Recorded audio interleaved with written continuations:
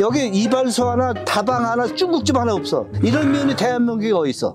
여기 못 살아. 진짜 이사 가야 돼. 할당댐부터 부셔야 돼라고 다시 만들어야 돼 그거는 서울 시민들이 용납을 못 하겠지 물 때문에. 그러니까 여기 조합면이 참 애들 몰라서도 그러지.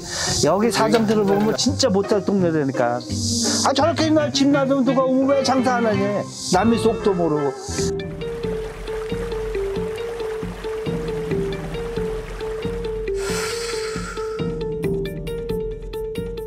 땅 공부하셨어요. 땅 공부.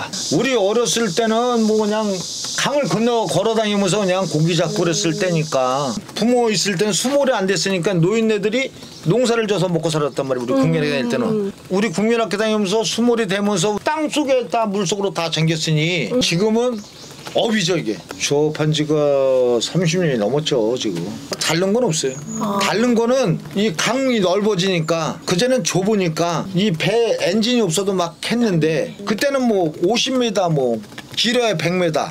근데 지금은 뭐 이게 600m, 800m 되니 조업거리가 몰아지잖아요. 댐 막기 전에는 옛날 저, 저 강원도 강처럼 보면 돼. 이게 물살이 세고 옛날에 그때는 그 강물을 그냥 길어다 먹었으니까 고기 잡으면 그냥 거기서 회 먹고 그래서 물이 그렇게 깨끗해서 유리알 같았지. 그 옛날이 좋았지. 옛날에는 막 백사장에 모래사장에 차가 깨끗하고 그물막 길어다 먹고 그랬으니까 옛날에 우리 어렸을 때. 어렸을 때는 수영하다가 그 물을 먹었어요. 근데 지금 못 먹어요. 아이 지금 다 썩었어 아무리 깨끗하게 한다도 지금 밑에 개흙이 이렇게 쌓여갖고 조개 달팽이가 못 살아 개흙에 묻혀서 다 죽어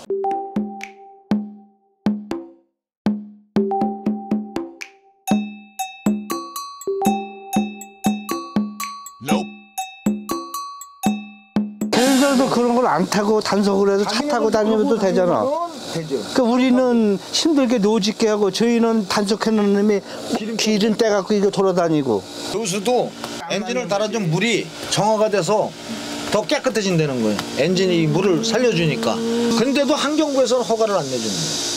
환경부 법이라는 거예요. 여기 저, 저 양수리 다리밑한 그 물안구 연구소라고 그건 군함 같은 게 떠다녀 군함.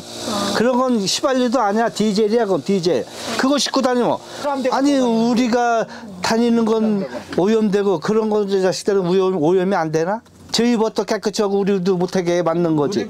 저희는 하고 왜 우리는 못하게 해? 오염이고. 그거 따라서 하는 건데 저기 단속이야 저게 저도 저기 쌍창 부리고 다니잖아요. 오라 그럴까 일로 취재해라? 뭐해 먹고 살아? 상수도 보호기라고 허가도 음식점 허가도 안 내주지. 그 여기만 그래 조합면만 양수리만 가도 그냥 아파트가 들어서고 수영장이 들어서고 저 금남만 가도 그냥 물가에 찜막지고 그 수상스키 타고 조합면만 꽉 묶어놨고 아무것도 없. 여기 대주일에 하나만 줘도 시에서 나서 다 때려보시고 이행강증은 물리고 그래요. 그러니까 제일 대한민국에서 못 살 동네가 여기 조합면이에요.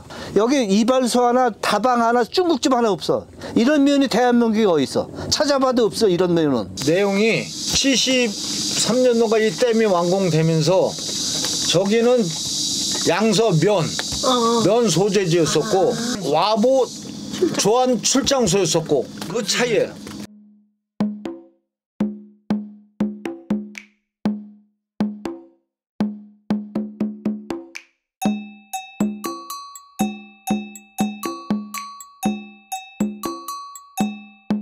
붕어, 잉어 댐이 없어요.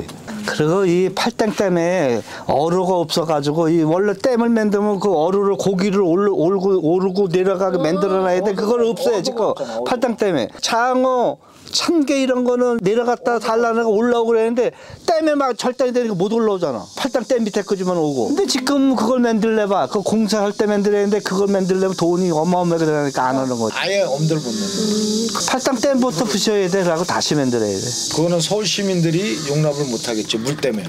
돈 못 버는 거 제일 서럽지. 어떻게? 나도 이게 20년 동안 무허가로 장사하다가 못하게 가갖고 그냥 벌금만 벌금만 때려 맞고 매일 야 검찰에 끌려가 조소받고 뭐 도둑질을 해. 뭐 저 누굴 죽여서 내내땅 갖고 내 집 갖고 장사해도 못하게 하는 게 이게 대한민국의 민주주의야.